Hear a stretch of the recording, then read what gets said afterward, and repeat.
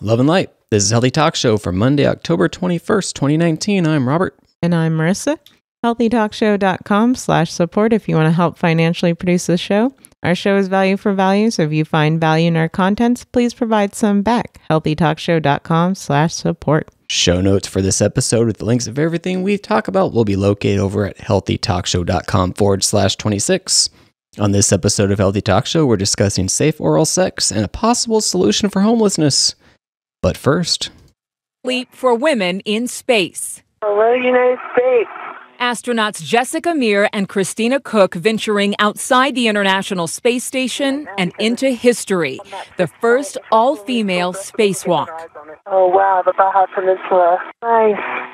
Wow. Okay, wow. Meir and Koch spending more than seven hours working in outer space, replacing seven hours? Yeah, that sounds rough. Yeah.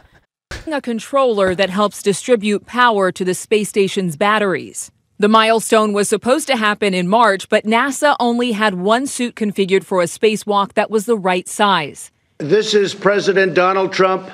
Do you hear me? The president calling to congratulate. You're very brave, brilliant women. Meir today recognizing her place in history.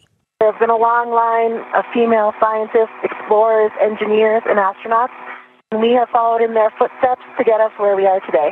Back on Earth, the girls in this classroom were watching in awe. It's really cool seeing um, someone with the same gender as me being out there in space and like doing something so great.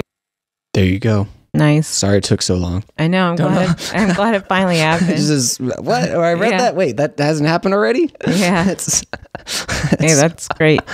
Need more women representation. definitely, especially in science. CBS Pittsburgh. A former University of Pittsburgh surgeon who revolutionized the treatment of breast cancer has died. Bernard Fisher was a professor at the University of Pittsburgh School of Medicine. His research brought an end to the routine use of radical mastectomy. Fisher discovered that adding chemotherapy or hormonal therapy gave breast cancer patients a better chance Very cool. Yeah, 101. Yeah. Wow. Yeah. That's amazing. Yeah. CBS New York. Johnson & Johnson announced on Friday that it's initiating a voluntary recall in the United States of its popular Johnson's baby powder due to low levels of asbestos contamination. The recall, which is limited to one lot of baby powder bottles produced and shipped in the United States last year, comes in response to a U.S. Food and Drug Administration test that found levels of chrysotile asbestos contamination in samples from a bottle purchased online, according to the company. People with a bottle of the Johnson's baby powder from lot number 22318RB are advised to discontinue using the product and contact the company for a re- Why? Why do people still use baby powder? Yeah, I thought baby powder was bad, and we all established we're not going to use baby powder anymore. I'm I'm pretty sure we've talked about it previously on Healthy Talk, Talk Show. How Oh. it's been linked to ovarian cancer. Yep. And it, one lot, it sounds small, but it's actually 33,000 Oh bottles, according to the New York Times. Yeah, when I said one, one lot, I'm thinking, what, a little case? What? No, Yeah. so eight, eight bottle, no, 33,000. Wow. Seriously, let's just stop using baby powder. It is not good. Yeah, please. USA Today. STDs on a, at an all time high. How did we get here? Just the facts. Cases of some sexually transmitted diseases have now reached a collective all time high, according to the Centers for Disease Control and Prevention. Among them is syphilis, a bacterial infection usually spread by sexual contact. Syphilis. Yeesh. Got a little clip about syphilis. But this this is surprising to me because I thought sex rates were down overall. Yes, they are actually. Ah. This uh, this report doesn't address that. It just goes into the S- it's syphilis and stuff. Oh. The disease starts as a painless sore. Then, the sores increase and skin rashes, swollen lymph nodes, and fever develop. At this point, a sore or break in the skin may allow HIV to enter the body more easily. Next is the latent stage, where the symptoms seem to disappear. If treatment isn't received 10 to 30 years after the initial infection, it can progress to tertiary syphilis, which can affect the heart, blood vessels, brain, and nervous system. Syphilis can also be passed from mother to child, even if the infection began up to four years before pregnancy. Syphilis has actually been around for centuries and was widely feared. But by the 1940s, penicillin was found to have a near perfect cure rate for the disease. This is penicillin, a powerful destroyer Thank goodness deadly for penicillin. Yeah, penicillin, the cure-all. Ordinary mold. And by 2000, US rates were so low that the federal government launched a plan to eliminate the disease entirely. Today, that goal is a distant memory, and syphilis is not the only STD on the rise. Cases of chlamydia and antibiotic resistant gonorrhea have also Ugh. increased, contributing to the record high. Yes. Not good. And this movie, this little video from USDA, USA Today goes into, you know, lack of STI education in schools for funding and all that. But it also talks about lack, lack of condom use Yeah. So we, the youths. are are they using condoms like for Yes. sex, for oral sex, or not where, at all? That's or- what that's what's bothersome. Is even with the people that are using condoms, you're supposed to use condoms with partners. That's why when this is healthy talk show. We're talking to a different kind of audience. If you don't know that, you need to go go back to sex ed and go learn that. Yes. But people are shocked when you say, "What about for oral?" Yeah. Wait, we're supposed to use con- what? And then some people maybe use condoms for you know blowjob, you know, performing oral on it, maybe. But when it comes to women, yeah. I don't know. Well- no, women don't even know. They're well, here is this a public service announcement for dental dams? yes, dental dams. You need them. Well, we we've asked a few people. We've asked a lot of people, and nobody's used them. Yes, no one. Some people haven't even heard of a dental dam. A Dental dam is, is- the barrier method if you're going to be performing oral on someone who's equipped with a vagina. So now I'm wondering: are are women not getting oral? Are we not having safe oral? Well, I'm Is wondering about I'm wondering about lesbians Yeah, they because should. Because they're not. ooh, What's yeah, there should be more dental dams in stores. I Well, do but there is a see them in problem. There's an issue with dental dams. Look, Oh these are my expensive. gosh. Yeah, look, pack of Uh, 52 for 16 bucks. That's kind of expensive for five by five. Those are small. That's not. yeah, the these are- next one's a little more expensive. The the premium ones. Yeah, these are outrageous. I. So we have a solution. You go to oh. Costco, Oh boy. get yourself a, a huge dental dam right here. It's just saran wrap, big thing, three thousand feet, thirteen bucks. That's a lot of dental dam material. That's a lot. And and since this is healthy talk show, you know we're not sponsored to say that. No, but we do love Costco. We do love Costco, Absolutely, and they they work as effective barriers. So they do. for STD prevention. That's true. Next story Chemistry World. Structures in more than 150 papers may be wrong. A piece of code that calculates nuclear magnetic resonance signals may have has been used to discover to getting sorry signals has been to, you read that Can you just read that for me?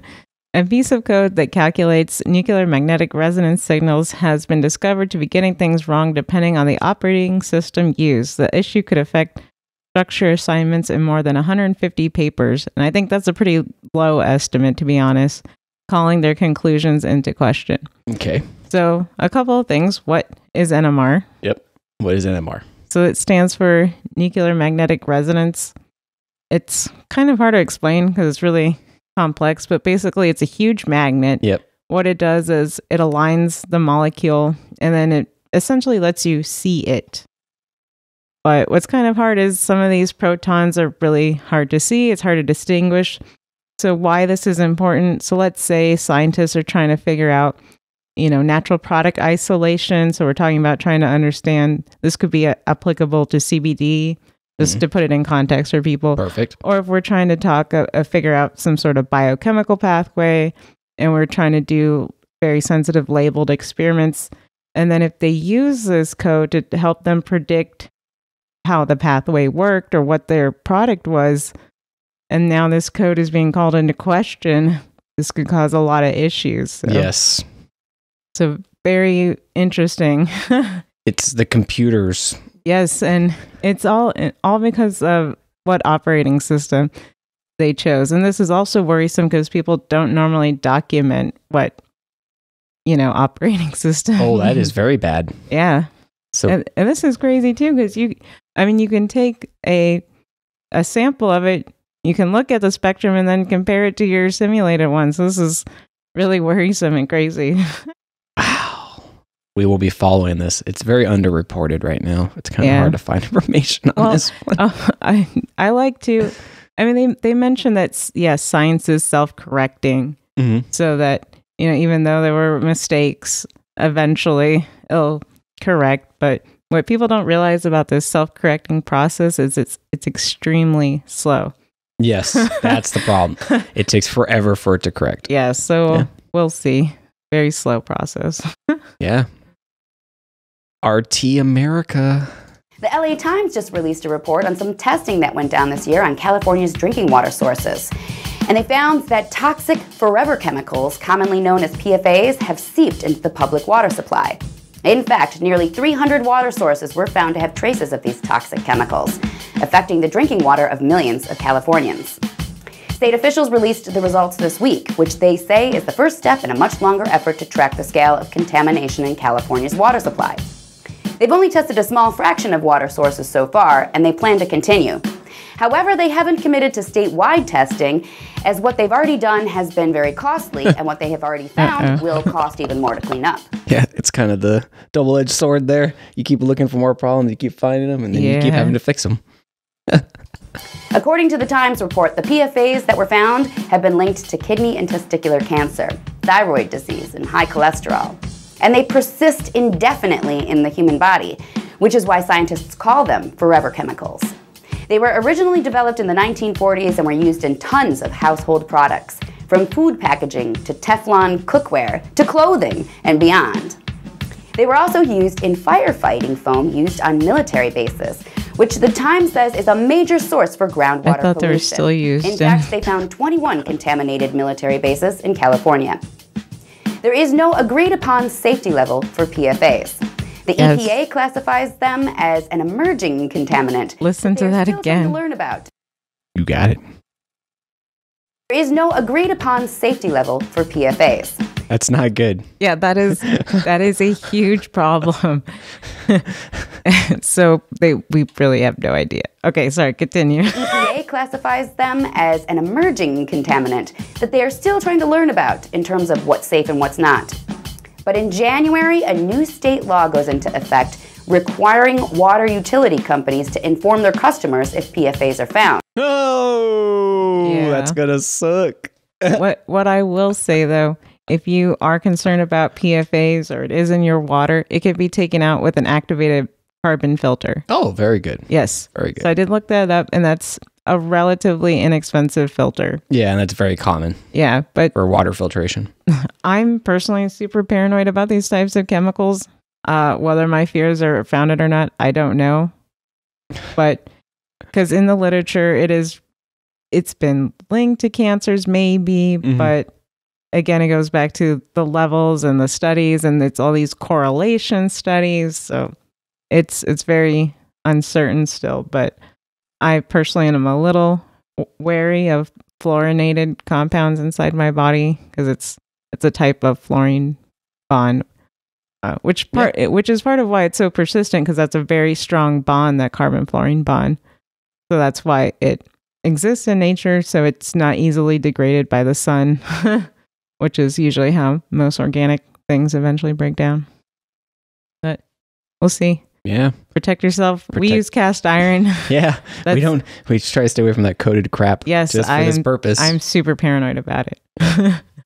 That's my choice, but Fox Business had Secretary Azar on. Vaping devices, if I can On call vape. that, are illegal anyway. I didn't know that. That's absolutely right. The Tobacco Control Act says that these e cigarette devices actually have to be approved by FDA before they can be on the market. Now, the Obama administration said Health and Human Services Secretary. I forgot what his title was. There we go.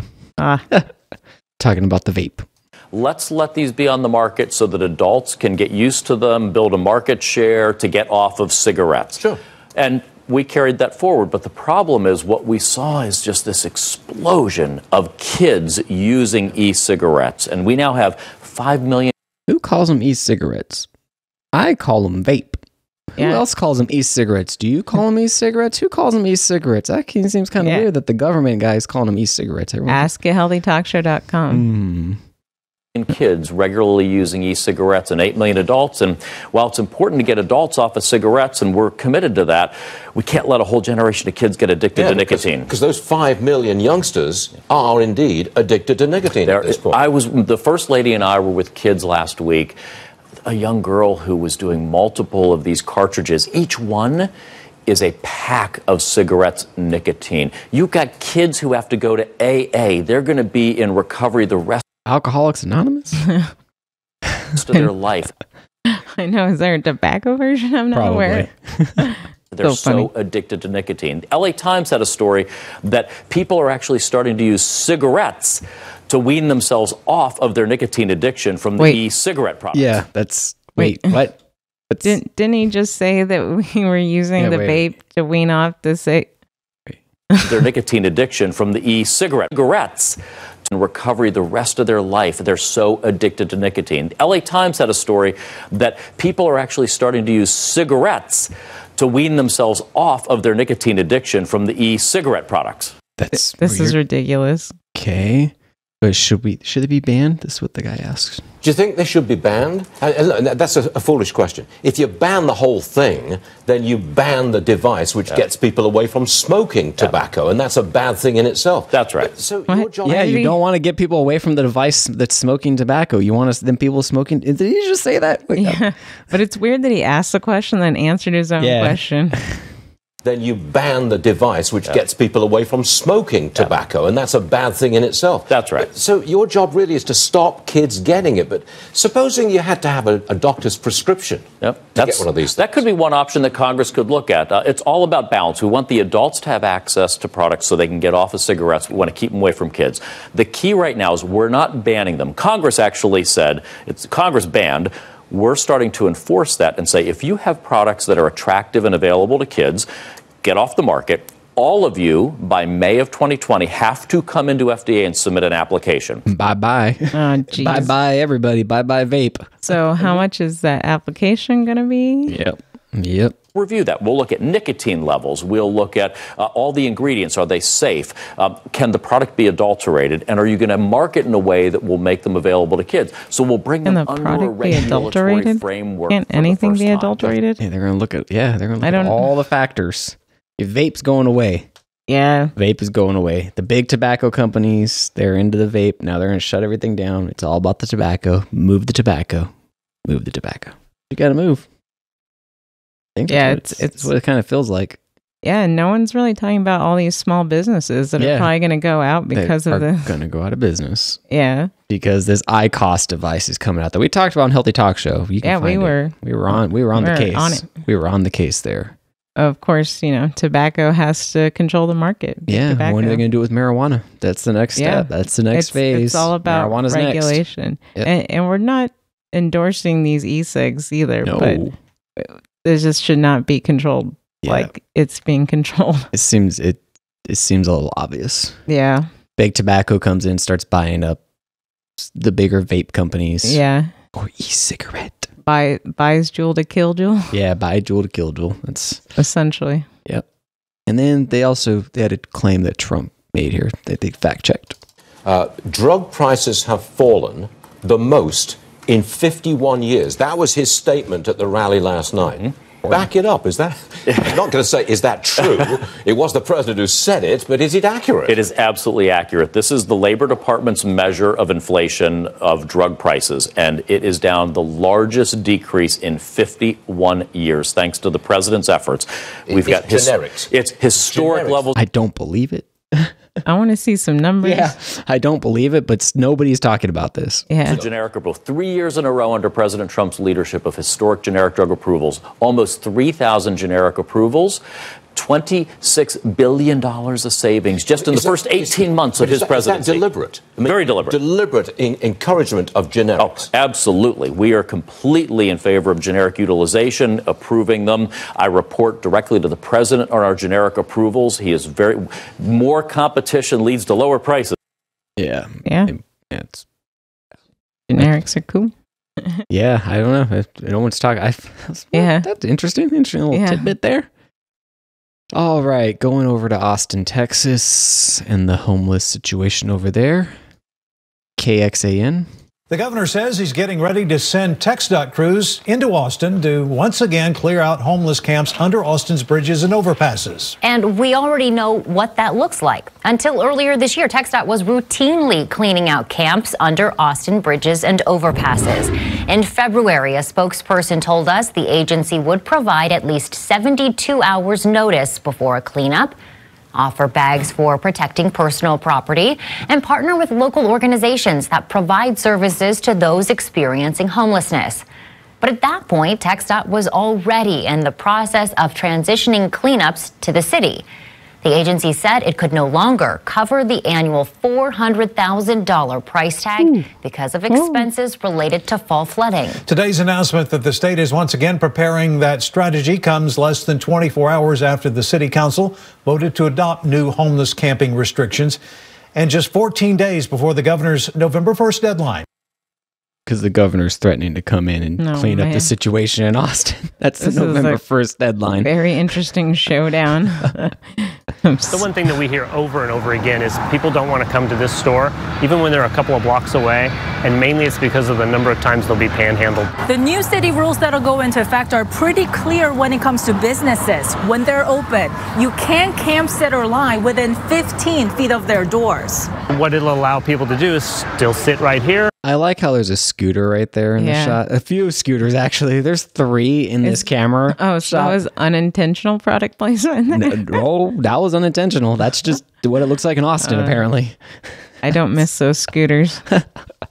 and also Crazy. still sit right next to our patio. The ordinances also say you can't be within 15 feet of homes, and camping on sidewalks or in high wildfire risk areas is banned. But medians and underpasses are up to the discretion of law enforcement. If an officer believes that somebody is endangering themselves or others, they have the ability to act. It's not sufficient. City Council member Ann Kitchen wanted the changes to address those medians and underpasses, as well as flood prone areas. Well, I believe that clarity is what um, was needed and what our uh, the public was asking for. Um, the council did not agree, and so it's time for us to move on. She says it's time to focus on getting people into homes. The mayor agrees. I am pivoting full tilt boogie uh, to uh, actually. He seems like he's very serious. Solving the challenge we have and ending homelessness in the city. Yeah, I trust the mayor on that one. he just doesn't seem genuine. He's just yeah, yeah he's really. Little... I want I want to help the homeless. And... yeah, all right, so let's get into it a little bit. Austin's got some issues. They've got this thing. It's called Code Next that keeps re, re popping up, which is interesting. And I don't know how to read things, so they're going to explain it to me in Lego. Maybe you've heard about something called Code Next. It's a plan to change the building code that governs what can be built where in Austin. But people have competing views about how the city should grow, so this whole process can get controversial. But let's ignore that. To start to understand what Code Next actually means, you need to know a few basic terms. So we're going to start with five. And we're going to show you what these terms mean with Legos. We're going to build a house. Before we get our house on the ground, let's talk about something called impervious cover. It refers to any hard surface, think roads, parking lots, driveways. The city limits impervious cover because when water can't be absorbed into the ground, the risk of flooding increases. That's why driveways can only be so long. So now we're ready to put our house on the ground.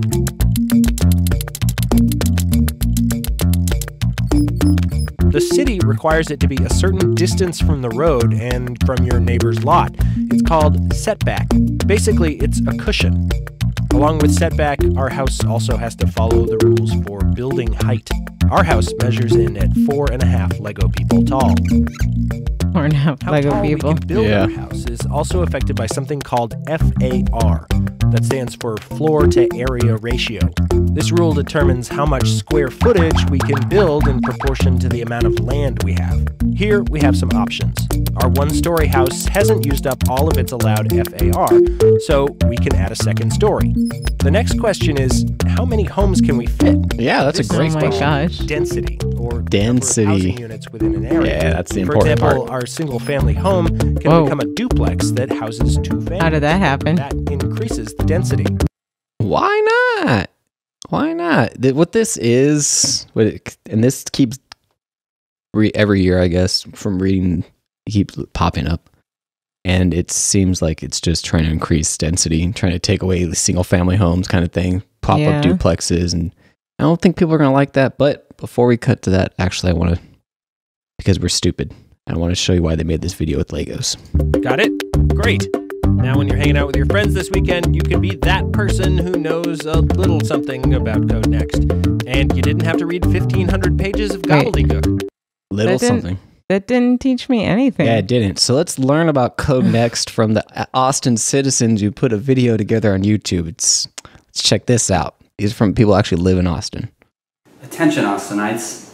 Your property rights, your neighborhood, and your home are at risk. This fall, city officials will bring Code Next back from the dead. Under the city's plan, all of Austin will be rezoned. Tens of thousands of single family homes could be replaced with buildings up to 45 feet tall. 45 feet tall. Dang. How many stories? Up to 10 units each. Whoa. concrete, the neighborhoods will grow, making flooding much worse. Builders won't have to provide space for parking, crowding the streets with even more cars. Property taxes will rise, forcing renters and owners out of their homes. Worst of all, city officials won't give you the notice of these changes. They want to rezone Austin's unique neighborhoods without listening to the people who live in them. That is pretty bad that they're not even going to notify Yeah. anybody. They just want to do it and just say bye.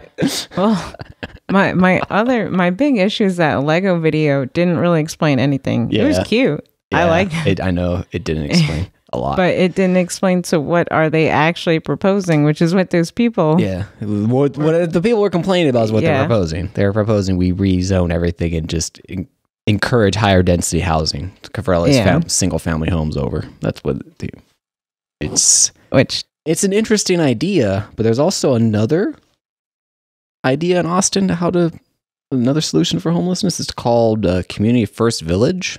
So let's take a look on that. This The current system for addressing chronic how he got started. homelessness in the United States of America Alan is absolutely not working.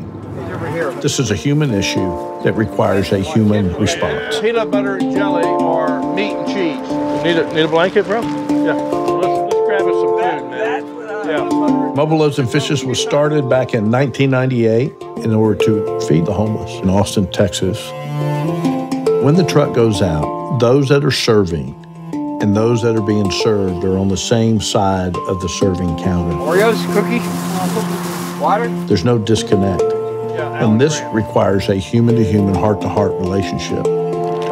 Yeah, I know what it means. It's a simple thing. And that singularly was the game changer.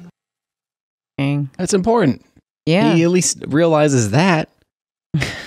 you know yeah, that's a big first step Yeah. that all these officials don't They take. don't humanize. yeah, de- you gotta dehumanize people. You got to get down and meet people. Yeah, all right, they don't let's do that. All right, let's meet Community First Village. Community First Village is a 51 acre master planned community that is designed to lift the chronically homeless up off the streets. This looks of nice. Oh yeah. Mobile Loaves and Fishes cares for the people who have experienced long term homelessness. Many of them 5, 10, 15, even 20 plus years. At 5, 10, 15, 20 Oh my plus. god, That's, that's that's unimaginable. chronic homeless. At that point, they have experienced so much trauma. We believe that the single greatest cause of homelessness, particularly in our country, is a profound, catastrophic loss of family. Yeah, that's And then here's a longer video. One minute. Our role is to really bring them into a community where they are loved and cared about and where they have an opportunity to begin the process of healing from all of that trauma. At Mobile Loaves and Fishes, our only goal is to inspire communities into a lifestyle of service with the homeless. That's it. The neighbors that live at Community First Village are incredibly gifted human beings. One of the joys of the work that we do is being able to give them the opportunity to put those gifts and talents to work.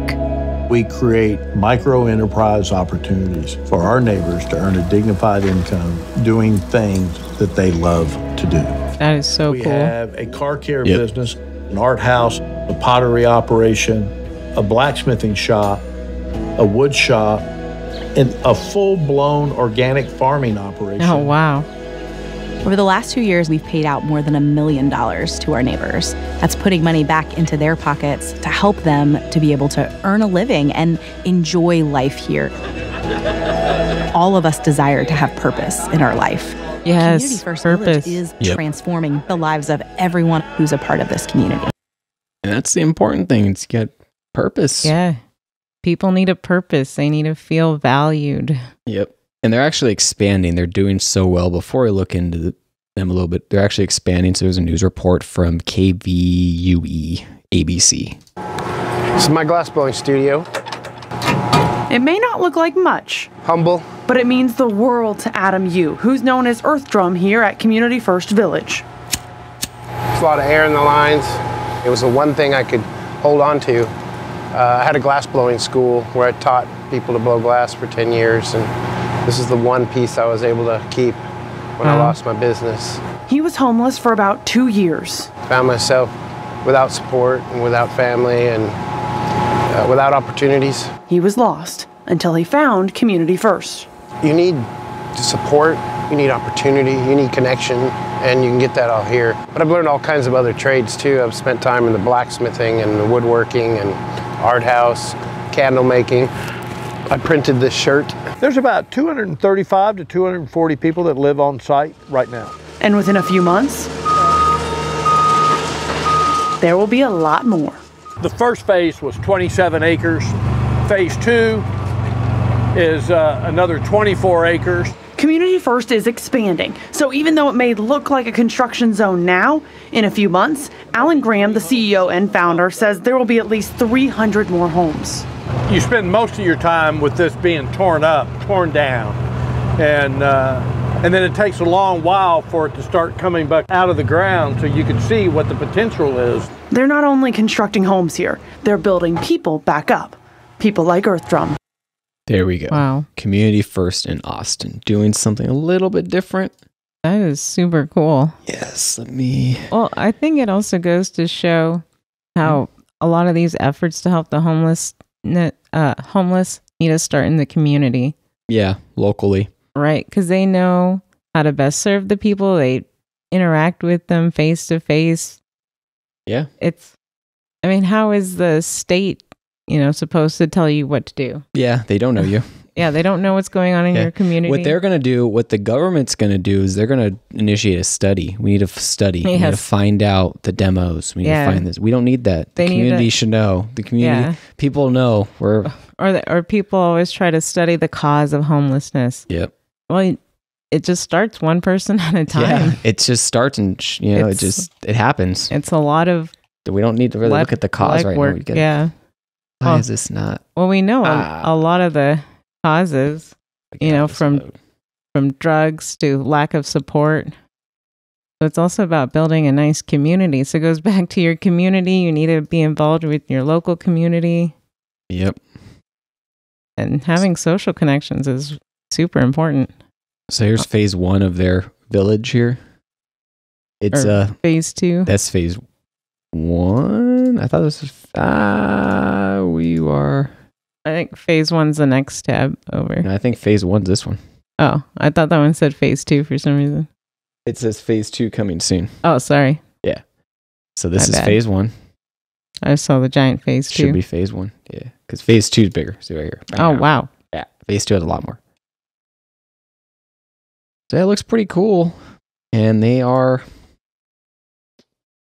Yeah, 100 RV parks for phase one, 130 micro homes, five laundry, restroom, shower facilities, five outdoor kitchens, community cinema. Phase two is, is Yeah, I mean that is so awesome. It's really nice coming from the apartment complex industry that Yes. I'm. It's this is crazy. People, How, how does the cost compare to? yeah, this well, the cost here, according to them, their operating cost for all that is only seven million dollars a year. Wow. total expenses. So that's Seven million. yeah. And how much did uh, California spend to build those apartments? They spent what apartments? What apartments? Well, I- What? On, so- on our last episode where we talked about Oh, how they how many billions? wasn't it 1.2 billion Yeah. and then they barely and put they up haven't even finished, and they're not even done. Yeah. Exactly. Give the money to the community first. They I can know. take care of the money for you. Apparently, California, you don't know what you're doing with your money. That's the problem. oh did you mention how they Don't, don't, take, government money. Yeah. I don't think they take government money. I'm fairly certain yeah they I, don't. th- I thought you had confirmed I'm that. yeah, I did in an article. It says they don't take government Yeah, money, which But, is- yeah. I looked through their financials. I could not find any statements that they're. So if you yeah can find it, so that's even more awesome and even if they do take government money, yeah just that's fine. I yeah the fact that they're so efficient with it Yeah. that's so incredible it's interesting. It is. It gives hope, but we need to spread Yeah. the word. We need more efforts like this. I I have no idea what California is going to do. They have well Uh, that some community has to start taking responsibility at least you know on local levels yeah.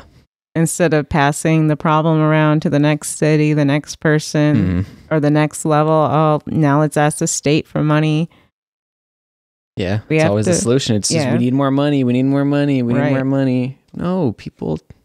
And then they come up with excuses that oh we can't help them because they are on drugs they can't pass a drug test Mhm. well they have to have something to live for first they have to have a community they have to have some semblance of a life Yeah. of structure of people they can turn to Yeah, So i mean this is awesome I, this is Yeah. great, but this is rare, and for some reason, yeah this idea is so rare. And yes, okay, it is a religious organization, and I'm the first person to naysay and uh, poo-poo religious organizations, but they're very adamant that they're not pushing religion in this community at all. Yeah. They're very adamant about that. So if they're and okay, it's either.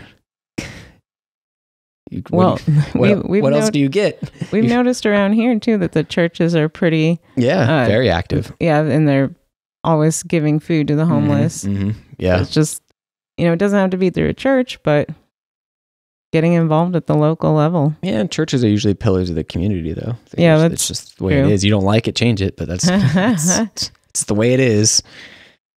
Ah, Yeah. Are we good? Anything else you I just wanted add? to sum up that you got to be involved in your local government.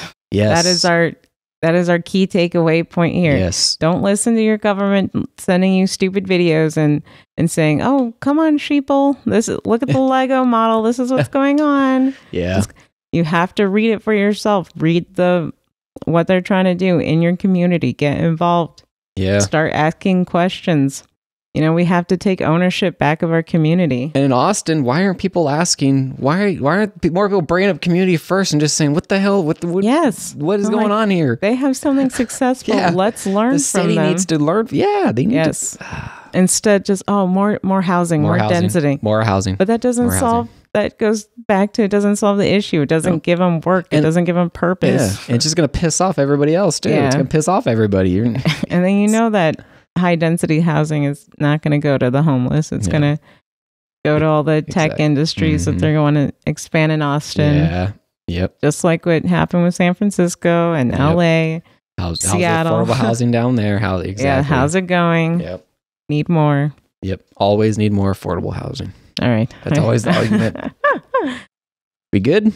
I, I believe so. We record Healthy Talk Show live on Mondays and Thursdays at 8 p.m. Pacific Standard Time. That's 3 a.m. UTC. Come join the fun over at healthytalkshow.com slash live. And please consider helping uh, to produce Healthy Talk Show by heading over to healthytalkshow.com slash support. Your financial contribution lets us talk openly about such topics like we do all the time. And it also helps us remain commercial free, unbiased, and of course, we need to pay for things like living expenses and our rent. It is cold up here. Please help us heat our house. Our show is value for value. If you find found value in this show, please provide some back by visiting healthytalkshow.com slash support. Another way to provide value is feedback. We love feedback. Our email is ask at healthytalkshow.com. Call us 509 878 3229 and healthytalkshow.com forward slash social for all of our social media links. Love and light. Love and light.